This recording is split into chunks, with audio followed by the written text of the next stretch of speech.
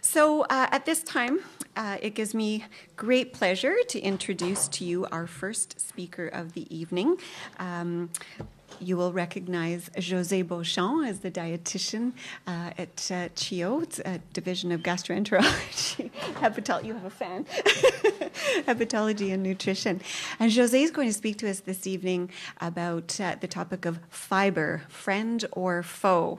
So I'm very interested in hearing what Josée has to say. And uh, if you could please join me in a warm round of applause for Josée.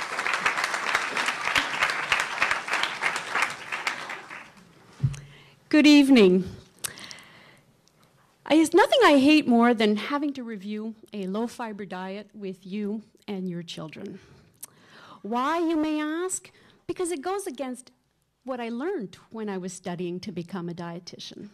So tonight I decided to ease my conscience and talk to you about the importance of fiber and how to integrate it into your children's lives. So my objectives for tonight, we'll first start off by talking about the role of fiber and IBD.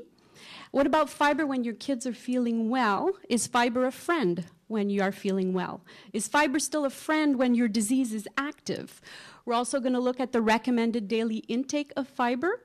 We're going to look at a few tips on how to increase fiber. And if we have time at the end, we'll have a little game.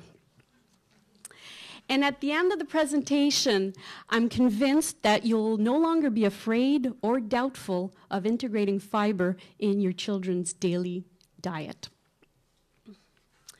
So let's talk about the role of fiber. Let's forget IBD for a second and talk about the role of fiber in our lives. Why is fiber so important for us?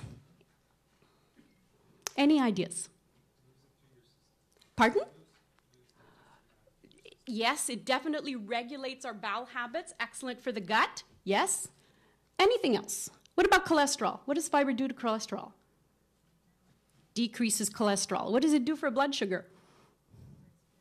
Helps us control our blood sugar also. So those are all good things that we don't want to deprive our children of having because they have IBD. So fiber goes beyond being important to just the gut.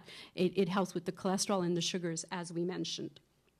So, fiber is important and it's fermented by the bacteria in our intestine, and this is what produces the fuel to nourish our bowel cells. So, it definitely plays a direct role into our gut.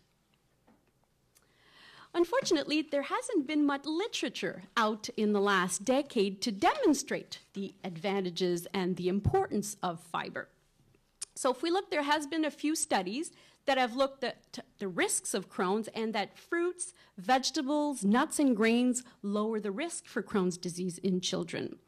We've also had some studies that showed that dietary fiber will be beneficial in maintaining remission in ulcerative colitis. So even though there's been a few studies in the last decade, what's important to remember is has there been any studies showing that dietary fiber increases the risk of IBD prevents the disease from going into remission or even causes disease to be active. No, there hasn't been any literature saying these negative things about fiber. So fiber is important and we need to integrate it into our daily intake. So I've shown you a table here. You may recognize that, that as the Canadian Food Guide, where it's showing how many servings of fruits, vegetables, and grain products we need to have on a daily basis, and it's according to age. Of course, we can also get fiber some, from some alternatives such as legumes and nuts, but it is important that we get our daily fruits and vegetable intake, and that half of our grain products should be whole grains. What about fiber when the disease is active? So if your child is tolerating fruits and vegetables, it's important that he continues to do so. He or she continues to integrate them in their diets.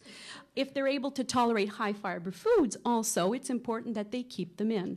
But there will be certain instances where the foods will not be tolerated or the IBD team will prescribe a low fiber diet. But what's important to remember is the low fiber diet is only a temporary diet, and no way, again, I will repeat, that fiber will cause the disease to become active. Let's look now at the recommended. Yes, you have a question? Well, it doesn't change the fiber content in itself, it just softens some of the fibers and the residues. No, exactly. So let's look at the recommended daily fiber intake. You'll see that there's quite a variation according to age. It starts as low as 19 grams all the way up to 38 grams for a 14 to 18 year old male. So let's take a look at how we can help achieving some of those numbers when your children are feeling well. First, we need to know how to find the fiber content on the nutrition information. The best example I can, can tell you is looking at a cereal box where it's very detailed in terms of nutrition information. So you will have the indication on fiber. If there is no mention of fiber on the nutrition fact, that means there is no fiber. It will be at zero. So if we want to compare products, especially if we're looking at a box of cereal, it's always interested, interesting to look at two types of cereal and choose the highest fiber containing cereal. If we talk about a high fiber food, it's usually above four grams per serving. Now, how do we increase our fiber into our daily diets? First of all, grain products is the easiest one to integrate. Rather than buying plain white, we could choose whole wheat grains to make sandwiches, pitas, bagels, for examples. And we can also choose to make a recipe with half of the white flour being whole wheat flour. I'm sure your children will not even notice the difference. In terms of fruits and vegetables, it's important to know that fruit juices do not have fiber. The actual fruit itself will contain the fiber. So having fresh fruit, fresh vegetables cut up and available for them at all times will also facilitate intake of fruits and vegetables.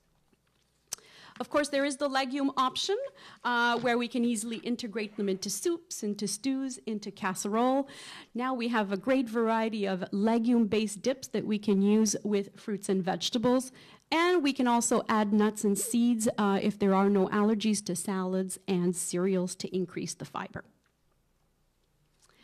So what I'd like to demonstrate now is the impact of a low fiber diet if we continue to do that in the long term. So here I've set an example of the low fiber diet compared to a high fiber diet. So by easily incorporating whole wheat cereal, whole wheat bread, and adding a fruit for breakfast rather than fruit juice, we've actually increased our fiber intake from 2.8 to 15.8 grams, and that's only for breakfast. If we look at lunch, again, having a sandwich with whole wheat bread, integrating vegetables rather than a vegetable cocktail, having a vegetable or a legume based dip, and having fruit for dessert, again, we've gone up from 2.3 to 10.6 gram at lunch. For vegetables, integrating grains such as keeping skin on potatoes or having whole wheat pasta or whole grain rice, adding vegetables, and having a dessert that will have some fiber, again, we can increase our fiber from 2.8 to 6.8. So totally in that day, I've went from a low fiber diet, which had 8 grams of fiber for the day, to a high fiber diet that has about 32 grams a day. So maybe we have time for a little game. I need my Vannas up here, Natalie and Chantal. So I hope I was able to convince you tonight that fiber is important for your children in their everyday lives. Even though we may have a temporary need for a low fiber diet, it's always important to integrate fiber back in their diets. So with having fiber, I'm sure we will keep your kids in remission for longer, and then they won't need the low fiber diet. And that will ease my conscience. Thank you very much.